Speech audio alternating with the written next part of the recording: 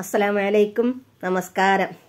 ഇന്നത്തെ വീഡിയോ നമ്മുടെ കഴുത്തിൽ ചുരിദാറിന്റെ ബ്ലൗസിന്റെ നെക്കിലൊക്കെ പൈപ്പിംഗ് തയ്ക്ക് അടിപൊളിയായിട്ട് നല്ല പെർഫെക്റ്റ് ആയിട്ട് ഇരിക്കുന്ന ഒരു നെക്കാണ് പൈപ്പിംഗാണ് അതിന് ഞാൻ ചെറിയ ഒരു കുറച്ച് തുണി എടുത്തിട്ടുണ്ട്. അതിന് നമുക്ക് അതിന്റെ കഴുത്തിന്റെ അകലം മൂന്നിഞ്ച് എടുത്തിട്ടുണ്ട്.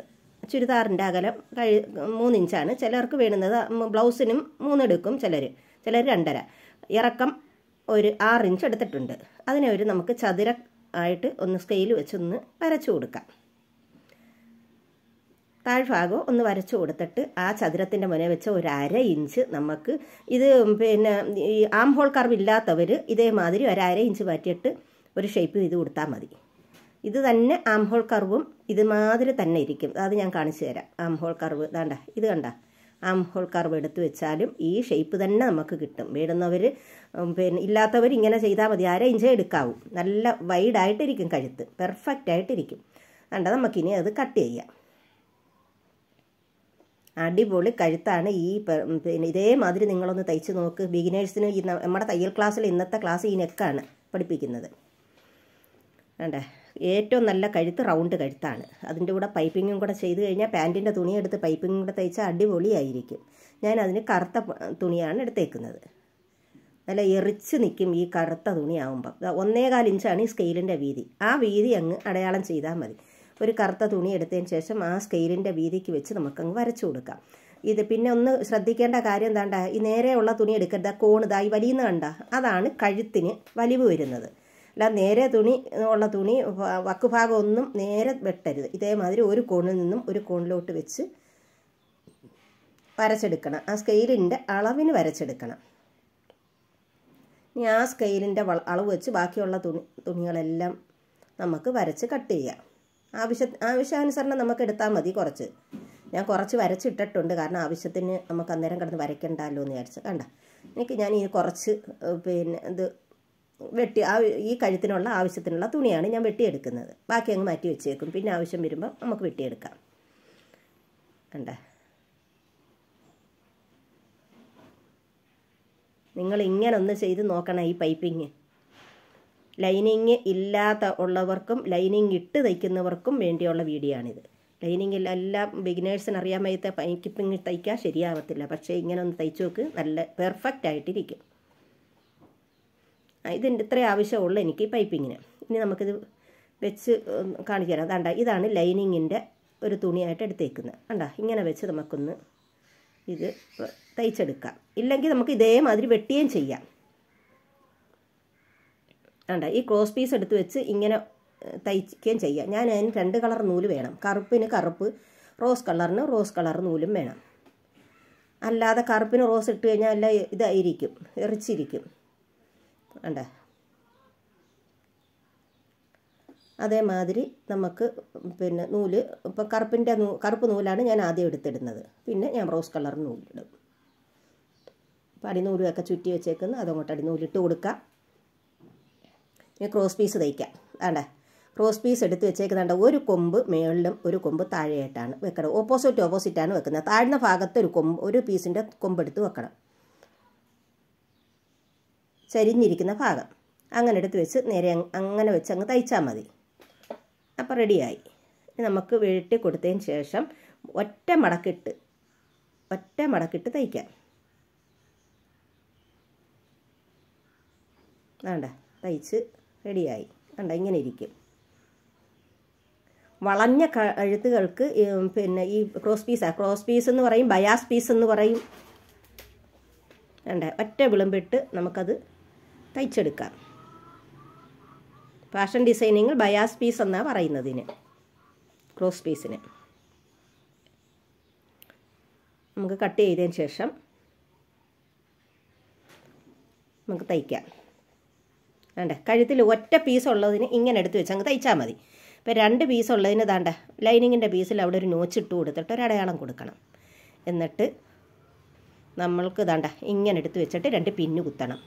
ദാണ്ടേ വേണ്ട? ഇത് കണ്ട. ടേപ്പ് എടുത്ത് വെച്ച് നമ്മുടെ കയ്യിൽ എപ്പോഴും ടേപ്പ് വേണം. ഇങ്ങനെയൊക്കെയുള്ള ആവശ്യത്തെ ടേപ്പ് മുട്ടപ്പിന്ന് എല്ലാം കയ്യിൽ വേണം. ഒരു മുട്ടപ്പിന്നെടുത്ത് കുത്താം. ടേപ്പ് കുത്തി ഇട്ടേക്കുന്നത് കണ്ട. ഞാൻ ഇതിന്റെ വീഡിയോ ഇട്ടിട്ടുണ്ട്. നിങ്ങളിതൊന്ന് കയറി ആ വീഡിയോ കയറി എന്റെ ചാനലിൽ കയറി നോക്കിയാൽ ഇത് കാണാം. ഇത് തയ്ച്ചേക്കുന്ന എങ്ങനെ? വേണ്ട? ടേപ്പ് നമ്മൾ ടേപ്പ് കഴുത്തേല സാധാരണ എല്ലാവരും ചുറ്റും നമ്മൾ കഴുത്തേ ഇവിടുന്ന് എണീറ്റ് എന്തെങ്കിലും ഒരു ആരെങ്കിലും ഒന്ന് വന്നു കഴിഞ്ഞാൽ നമ്മൾ എണീറ്റ് ഓടും ടേപ്പ് അങ്ങോട്ടോ ഇങ്ങോട്ടോ മാറ്റിയിടും പിന്നെ ടേപ്പ് കിടന്ന് തേടണം. ഇത് ഇത് ആരും എവിടുന്നും എടുത്തുകൊണ്ട് പോകത്തില്ല. ഇതാണ്ട സൂചിയുണ്ട്. കുത്തിയിടാനുള്ള ടെസ്റ്റർ മാറി തയ്ച്ചിട്ടുണ്ട്. സൂചി മിഷൻ സൂചി കൈസൂചി കൈസൂചിക്ക് പെട്ടെന്ന് ആവശ്യം വരും. മിഷൻ സൂചി സൂചി ഒടിഞ്ഞാൽ പെട്ടെന്ന് എടുത്തിടാം. പിന്നെ ഇത് കണ്ട? അതുമാതിരി പിന്നെ എന്തിനാന്നാ? ചുരിദാറിന്റെ പാന്റ് തയ്ക്കുമ്പോൾ പെട്ടെന്ന് വള്ളി പിന്നെ കൊരുത്തിടാം. പിന്നെ മുട്ട പിന്നാ ഇതേമാതിരി നെക്ക് ഒക്കെ തയ്ക്കുമ്പോൾ പെട്ടെന്ന് എടുക്കാം. അന്നേരം നമ്മൾ ഓടി പോകണ്ട എന്നാൽ ചോദിക്കും മിഷന്റെ ട്രോ ഇല്ലേ? മിഷന്റെ ട്രോ ഉണ്ട് അതൊക്കെ ഇളകി പോയി കിടക്കുക വേണ്ട ഇത് കത്രിയ വെക്കുന്ന കണ്ടോ? മോട്ടർ വെക്കുമ്പോൾ ഇപ്പം ഞാൻ ബെൽറ്റ് ഇട്ടാ തയ്ക്കുന്നത് മോട്ടർ വെക്കുന്ന സമയത്ത് ചിലപ്പം കത്രിയ തൂ തെറിച്ച് പോകും അത് പോകാതിരിക്കുക ഒരു ബെൽറ്റ് ഇട്ട് ഒരു ബാർ മേളിൽ തയ്ച്ച് അവിടെ വെച്ചേക്കുക കണ്ട? ഇതൊക്കെ ഉപകാരപ്പെടുന്ന വീഡിയോയാണ്. ഇതൊക്കെ നിങ്ങളൊന്ന് തയ്ച്ച് നോക്കിക്കേ.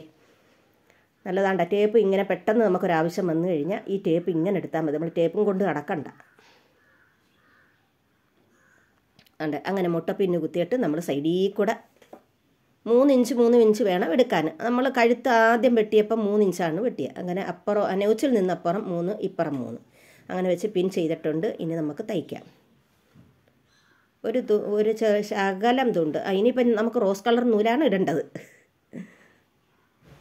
പാടൊന്നും വിചാരിക്കരുത്. കളറിട്ട് നൂലേ തയ്ച്ചിട്ടേ തയ്ച്ചു കൊടുക്കാവൂ.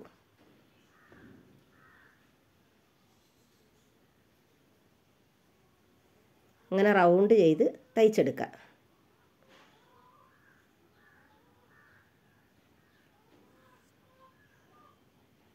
എല്ലാവരുടെയും വിഷമമാണ് പൈപ്പിംഗ് തയ്ക്കാൻ പറ്റത്തില്ല നല്ല പെർഫെക്റ്റ് ആയിട്ട് വരുത്തില്ല എനിക്കും വരുത്തില്ലായിരുന്നു ആദ്യം ഒന്നും. ഭയങ്കര പാടായിരുന്നു. ഞാൻ വിചാരിക്കും എങ്ങനെ തയ്ക്കും? പിന്നെ നമ്മൾ കുറേ പ്രാക്ടീസ് ചെയ്യണം. എന്നാലേ അത് റെഡിയായി വരുത്തുള്ളൂ. പിന്നെ അത് ഒന്ന് ചരിച്ച് വെട്ടിക്കൊടുത്തിട്ട് നഹരി വെച്ചൊന്ന് വലിക്കണം. എന്നാലേ പെർഫെക്റ്റ് ആയിട്ട് ആ പൈപ്പിംഗ് റെഡി ആയിരിക്കും. എനിക്കതൊന്നും അറിയത്തില്ലായിരുന്നു. ചരിച്ച് വെട്ടണമെന്നും നമ്മൾ അനുഭവത്തിൽ നിന്നല്ല പഠിക്കുന്നത്. നമ്മൾ ഓരോന്ന് ചെയ്ത് ചെയ്താണ് നമ്മൾ പഠിക്കുന്നത്. അല്ലാതെ ഒന്നുകൊണ്ടൊന്നും നമ്മൾ പഠിക്കത്തില്ല. ഇതേമാതിരി നമ്മൾ ആ ക്രോസ് പീസ് എടുത്ത് വെച്ച് നമുക്ക് ഇതേമാതിരി ഒരു കാലിഞ്ച് തയ്യട്ടും വിട്ടാൽ മതി. ഇട്ട് റൗണ്ടിന് തയ്ച്ചു കൊടുക്കുക എല്ലാ തയ്യക്കാരും ഇങ്ങനെയൊക്കെ തന്നെ പഠിക്കുന്നത്. അല്ലാതെ ആരും നല്ല പെർഫെക്റ്റ് ആയിട്ടൊന്നും തയ്ച്ചു വരത്തില്ല. തയ്ച്ച് തയ്ച്ചാണ് കൈ തെളിയുന്നത്. കഴുത്തിന്റെ ഭാഗം ആ റൗണ്ട് ഭാഗം വരുമ്പം അടിയിലൊന്നും പിടിക്കാതെ തയ്ച്ചു കൊടുക്കണം.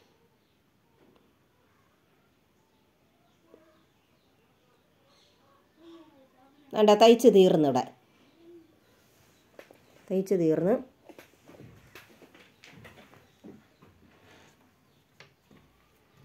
നമുക്ക് ചരിച്ച് വെട്ടിക്കൊടുക്കണം. ആ ചരിച്ച് വെട്ടിക്കൊടുക്കുമ്പോൾ ആ വളവ് ഭാഗത്തൊക്കെ നല്ലതുപോലെ നൂലി കയറരുത് നോക്കി ചരി കത്രികയുടെ തുമ്പ് വെച്ച് ചരിച്ച് വെട്ടിക്കൊടുക്കണം. എന്നിട്ട് ആ നഖര് വെച്ച് അതൊന്ന് വരച്ചു കൊടുത്താലേ വരത്തുള്ളൂ എനിക്കിതൊന്നും അറിയത്തില്ലായിരുന്നു ഈ നഖര് വെച്ച് ഇങ്ങനെയൊക്കെ ചെയ്യണമെന്ന് വേണ്ട പിന്നെ നമ്മൾ ഓരോ പരീക്ഷണം ഓരോ ചെയ്യുമ്പം വൃത്തിയായി വന്നില്ലെങ്കിൽ ഇങ്ങനെയൊക്കെ അഴിച്ച് ചെയ്യും. അപ്പോഴാണ് റെഡിയാവുന്നത്. ഇനി നമുക്ക് ചെയ്യേണ്ടതാണ്ട് വേണ്ട ആ കുഴിയിൽ കൂടെ ആ കറുപ്പിലും കയറരുത് ആ ആ റോസ് കളറിലും വരാതെ ആ തയ്യലിന്റെ കുഴിയിൽ കൂടെ പെതുക്കെ തയ്ക്കാവൂ.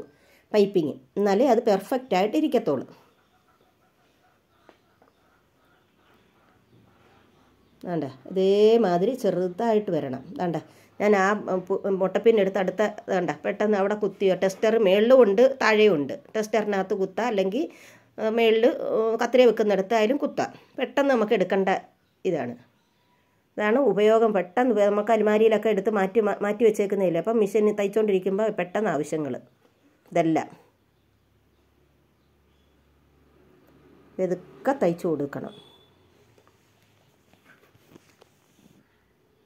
രണ്ട് മൂന്ന് സൈസ് തയ്ക്കാം. നമുക്ക് ക്യാൻവാസ് തയ്ച്ചിട്ട് ഇതിലും അടിപൊളിയാണ്. ക്യാൻവാസ് തയ്ച്ചിട്ട് അത് ഞാൻ വീഡിയോ ഇടുന്നുണ്ട്.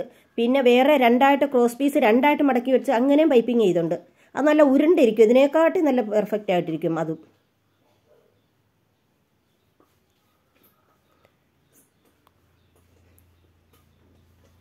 അങ്ങനെ റൗണ്ടിന് കൊണ്ടുവന്ന് തയ്ച്ച് തീർക്കാം.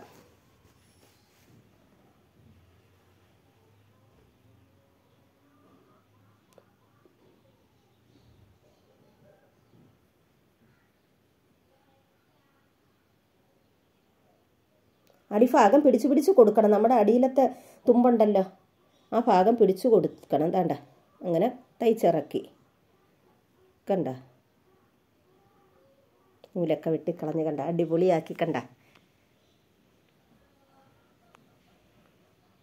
വീഡിയോ ഇഷ്ടപ്പെട്ട ലൈക്ക് ഷെയർ സബ്സ്ക്രൈബ് ചെയ്യണേ. താണ്ട ഈ ചീത്ത വശമാണത്. താണ്ട ഈ നല്ല വശം. അടുത്ത വീഡിയോ ആയിട്ട് വരുന്നവരെ ഇൻഷാ അല്ലാ അസ്സലാമു അലൈക്കും.